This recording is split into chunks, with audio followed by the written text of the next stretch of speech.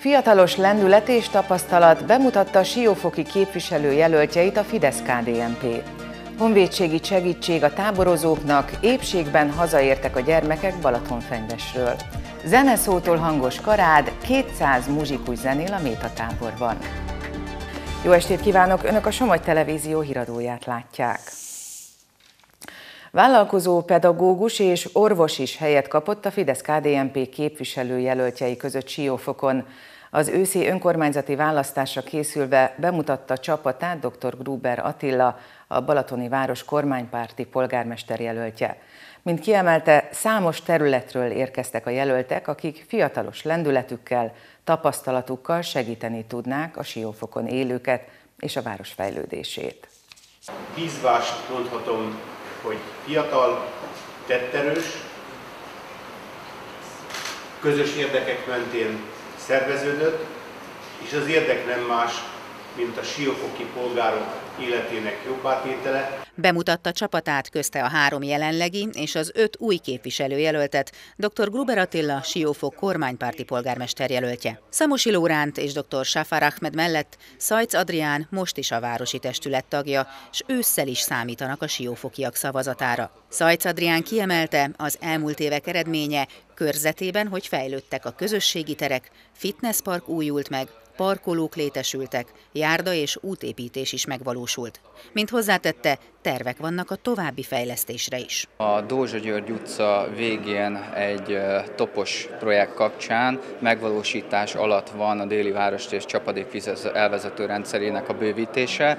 Ez egy nagyon fontos beruházás lehet az ott lakók számára, hiszen ez lehetőséget fog nyújtani arra, hogy a környező utcáknak a vízelvezetését rá tudjuk csatlakoztatni erre a kapacitásra, ami azt jelenti, hogy az elmúlt időszak nagy esőzései következtében ezek a területek rendre víz alá kerültek, és hogyha végre el tudnánk oda jutni, hogy a következő ciklusban ezeket a problémákat meg tudnánk oldani, akkor én azt gondolom, hogy ez komoly előrelépés tudna lenni.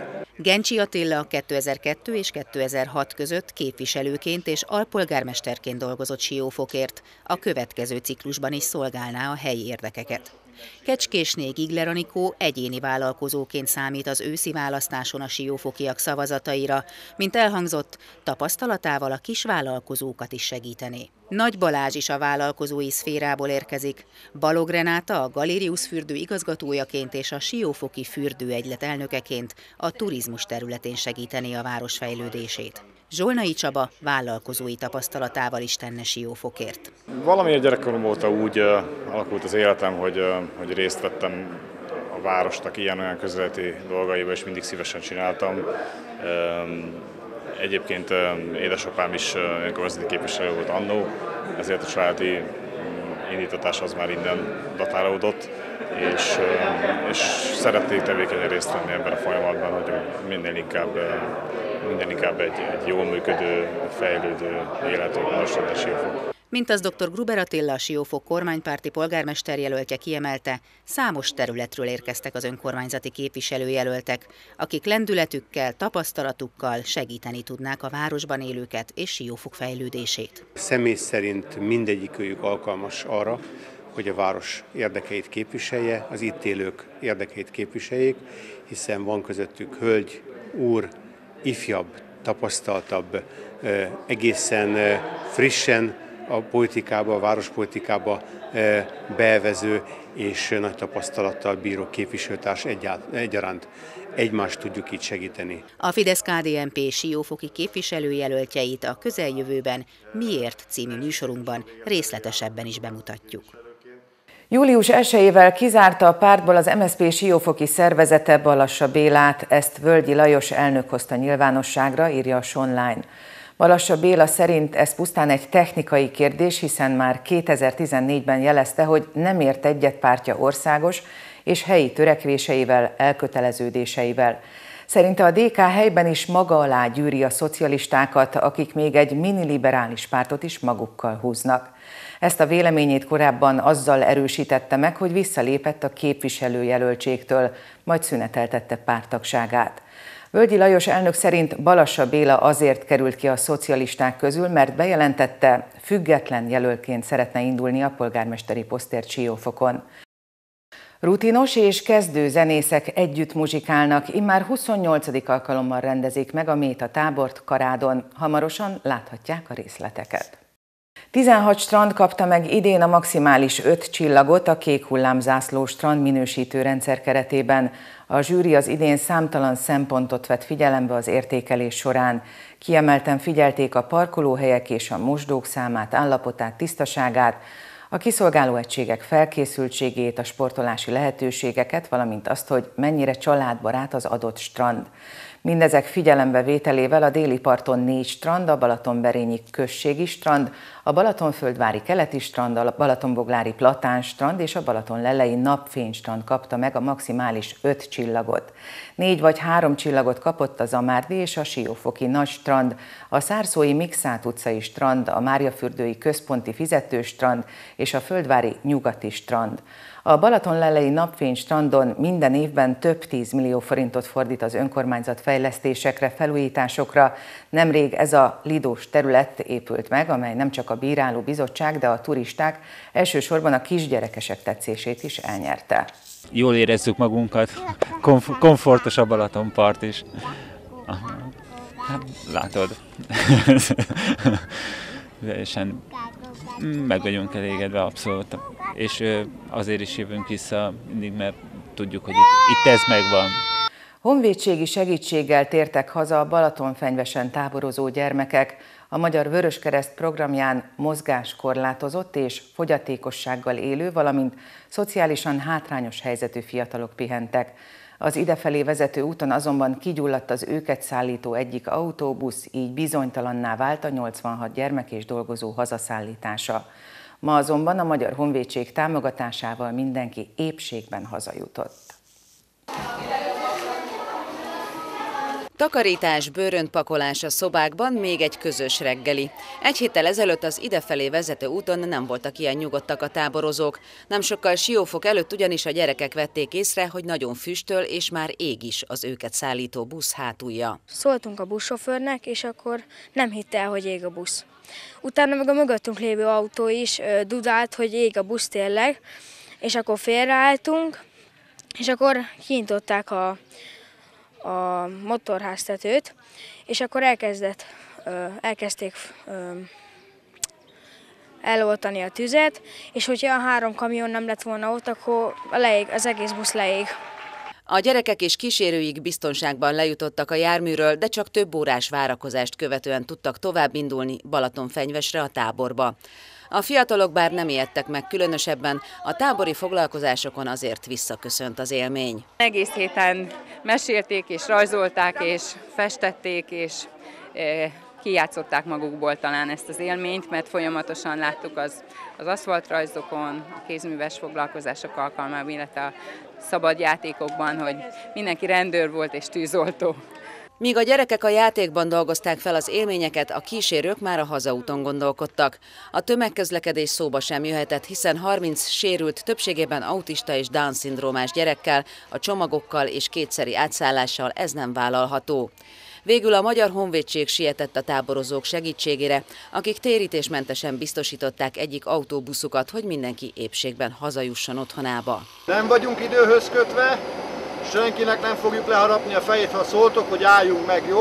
A gyerekek és kísérőik 41-en délelőtt 10 órakor indultak haza Baja, Bácsalmás és Kalocsa térségébe. Naponta 8-10-szer javallott inni kisebb mennyiségeket, hiszen a szomjúság már enyhe fokú kiszáradást jelez a szervezetnek, mondta Antal Emese, a Dietetikusok Országos Szövetségének elnöke az M1 aktuális csatorna péntek reggeli műsorában. A szakember hozzátette, hogy hőségben mindenfajta folyadék jól jön, de hosszú távon a meleg italok jobban hűtenek, mint egy jeges ital. A forró étel, ital fogyasztásakor ugyanis a szervezet is elkezdi hűteni magát. Azt is hozzátette, a csípős ételeknek is hasonló hatásuk van, mint a forró italoknak. A nehéz, magas kalóriatartalmú ételek viszont azért nem ajánlottak hőségben, mert azok hőtermelést jelentenek a szervezetnek.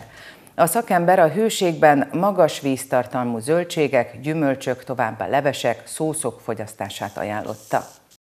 Évente átlagosan 6 kg zöldséget és gyümölcsöt dob ki egy ember Magyarországon, közölte a Nébih növénytalaj és agrár környezetvédelmi igazgatóságának osztályvezetője az M1-en. Ecsedi István azt mondta, ennek fő oka az, hogy a pultokra kitett hibátlan gyümölcsök rászoktatták az embereket arra, ami nem szép, az nem ehető. A termelőknek is sokat ki kell dobniuk, mert nem felelnek meg az áruházláncok minőségi feltételeinek tette hozzá. A pazarlás ellen a Nébih Vegyél számba címmel kampányt indított. A legalább egy évig tartó kampány célja többek között, hogy tárolási tanácsokkal lássák el az embereket, és a magyar termékek választására ösztönözzenek.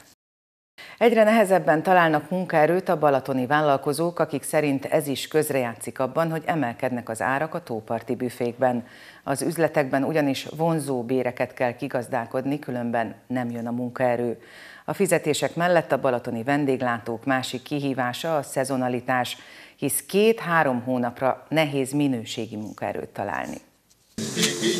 Készül a hamburger ebben az Amárdi strandbüfében. Alex már a harmadik szezonban dolgozik itt visszajáróként, télen külföldön vállal munkát. Jó balatoni nyári munkát nagyon nehéz találni, ahol pontosan kifizetnek, el tud, el tud számolni az időt, de nem vagy úgy megkötve, hogy most te itt vagy x időbe, és azon kívül bárhova mehetsz, ilyet nehéz találni. Kész a 75 Ebben a büfében hat éve mindig sikeres a szezon. A tulaj szerint ennek titka az összeszokott csapat, akik évről évre újra visszatérnek a pult mögé. Hál' Istennek nem sokan mondanak fent, körülbelül 3-4 ilyen példát tudok mondani, viszont nekik nem feltétlenül feküdt a vendéglátás Ugye ez egy elég stresszes munkakör, sok vendéggel, gyors reakciót várunk el mindenkitől, meg azt, hogy fejlődjön, és hát erre nem feltétlenül mindenki felel meg. Visszajáró munkaerőből azonban egyre kevesebb van, pedig a legfrissebb felmérések szerint az órabérek már 1500-2000 forint között mozognak. Ám sok szakmabelit elriaszt a szezonalitás, hiszen nem csupán 120 napra keresnek állást. Így sok esetben maradnak a teljesen kezdő tanulók a szezonra. Ebbe a szárszói büfébe ma is érkezik négy tanuló, a szezont csak velük lehet végigvinni. Május 1-én szoktam kinyitni, és bizony akkor neki sem állok munkaerőt keresni, mert sajnos nekem csak diákok vannak erre az egy-két hónapra, nem tudok mást ide ide csábítani, tehát bármennyit fizetnénk, akkor sem jönne senki sem, mert csak két hónapról van szó. A tanulók azonban csak a tanév végétől jelentkeznek, amikor már javában tart a szezon, és akkor kell még betanítani őket. Szakértők szerint a vendéglátás szálloda ágazatból tízezren hiányoznak, nyár elején pedig még ennél is több embernek lenne helye, igaz, hogy csak szezonálisan. Szállást adott, de közben rendszeresen megleste a csinos hölgyeket a Balatonnál egy ingatlan tulajdonos, ám csütörtökön késő este leleplezték az üzelmeit. Két húsz év körüli lány néhány napja belföldi turistaként érkezett a Balaton Soundra, és a Balatonboglári hatlakásos épületben szállt meg. A fesztiválon töltött nap után az esti zuhanyozás közben vettek észre lyukakat a fürdőszoba falában. Ekkor vették észre, hogy egy kicsi kamerát rejt a fal. Ezek után felháborodásukban a rendőrséghez fordultak. A helyszínre kiérkező rendőrök elfogták a ház tulajdonosát, egy 51 éves férfit, akit előállítottak és kihallgattak a Fonyódi rendőrkapitányságon.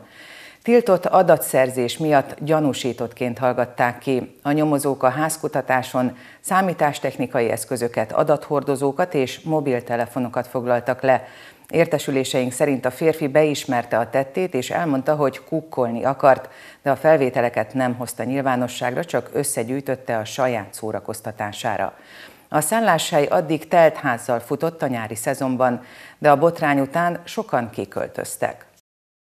Zeneszótól hangos karád, mint egy 200 muzsikus részvételével rendezik meg ezekben a napokban az immár 28. Méta tábort a településen.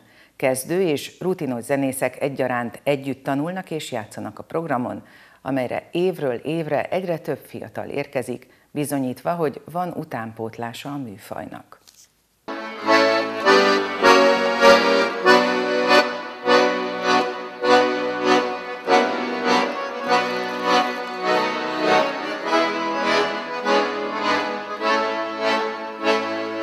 Templomban próbálnak a harmonikások karádon.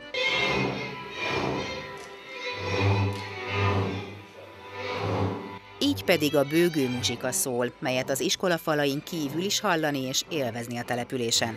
Fiatalok, idősebbek, kezdők és rutinosabbak együtt muzsikálnak a hangszeres csoportokban.